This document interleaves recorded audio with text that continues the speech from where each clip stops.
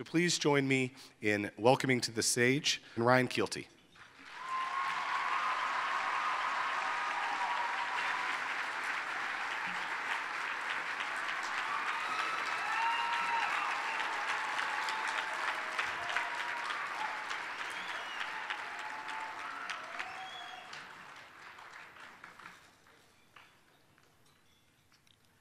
I came to Chesterton Academy not because it was profound or truthful, not because of what I had heard about it, not because they will convey to you the one true faith, which is our only perfect goal, but because it was affordable.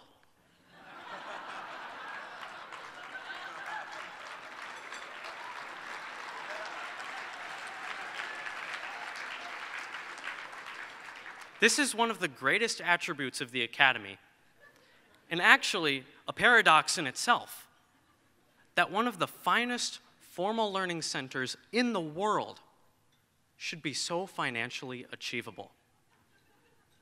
Now, I would like to start with something that was originally taught by Mother Teresa, but I learned about it in one of the homilies given by the legendary Father Joseph Johnson.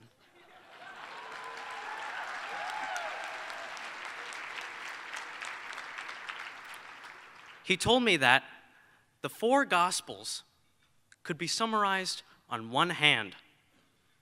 You did it to me. The fundamental message of the Gospels is stated by Jesus, who says to his followers, Whatever you do to the least of these, you did it to me. Now keep this in mind, because I'll bring it up later to see if you fell asleep by then. Now, let me tell you something about myself. I am a choleric melancholic.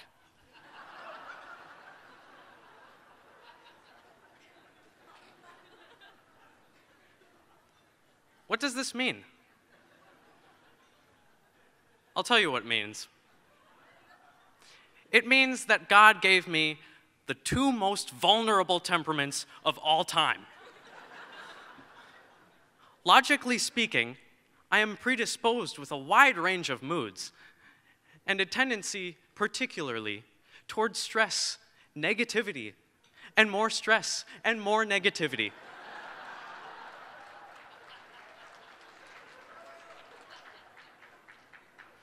In my particular case, I enjoy attention, and I do not like going unnoticed.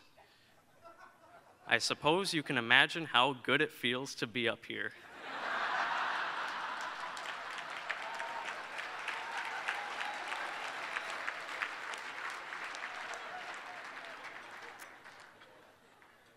But here's the point. Before I came to Chesterton Academy, I was unnoticed. Just another person in the crowd. Now, I cannot point fingers at anyone in particular, precisely because there was nobody to point at.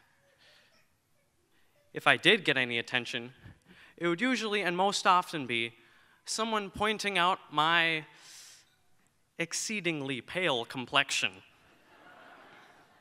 and how, since I was what you would call an indoorsman,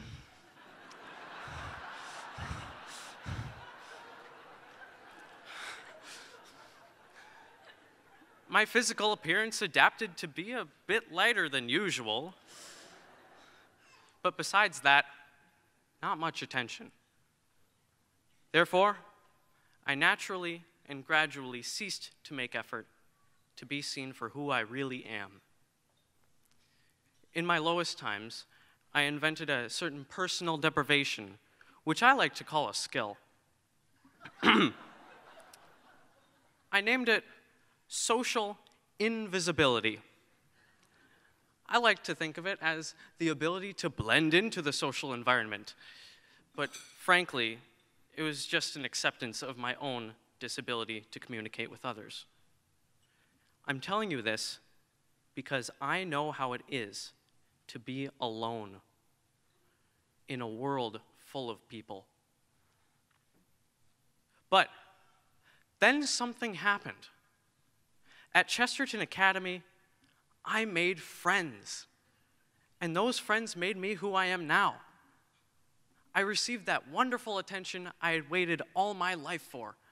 And I have flourished in my personality, grown more confident in myself, and gained virtue and strength by the example of the faculty and the students. Now, at one point in my career here, I overheard that someone had referred to me as the nicest and whitest kid in the school. Flattering and humiliating.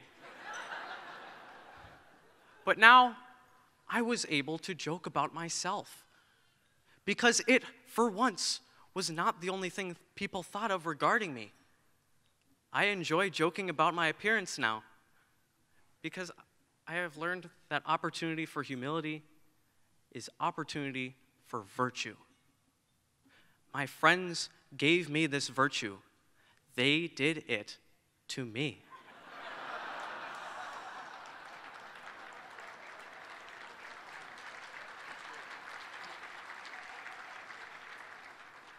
And now I could finally move on.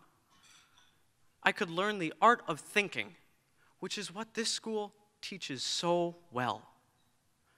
When you learn how to think, you desire, just as G.K. Chesterton did, to think about everything, to start putting it all together instead of taking it all apart.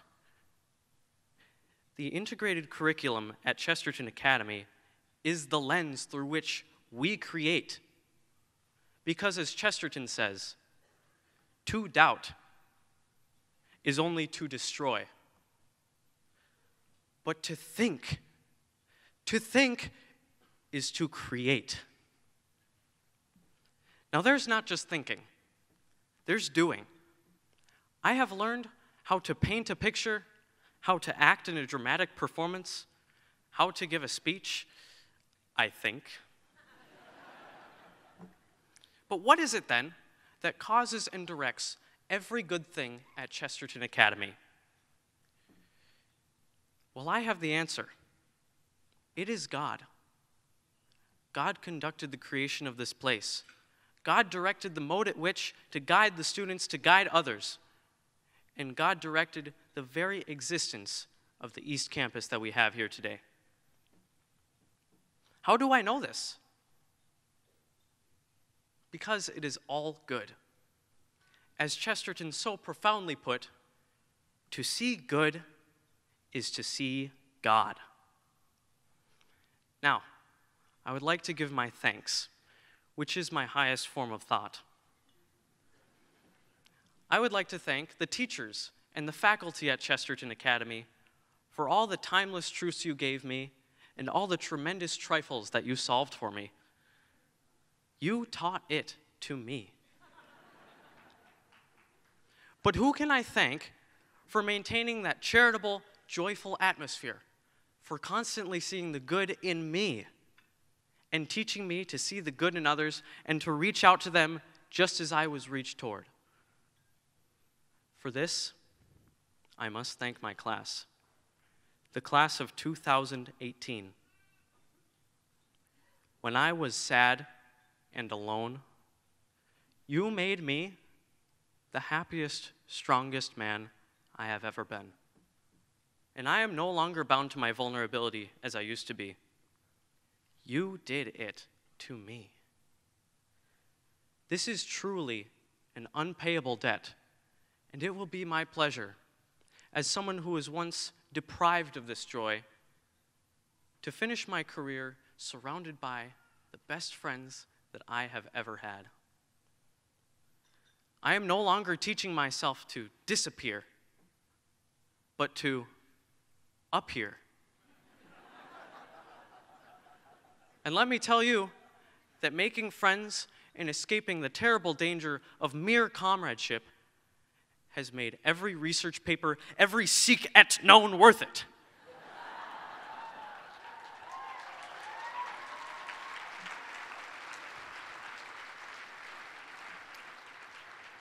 Finally, and I think most importantly, I would like to thank the donors who made this school affordable, who helped with scholarships, who made sacrifices so that students like me could attend this marvelous school. Because I have to tell you that Chesterton Academy is truly a wonderful place. Why? Because you did it to me. Thank you.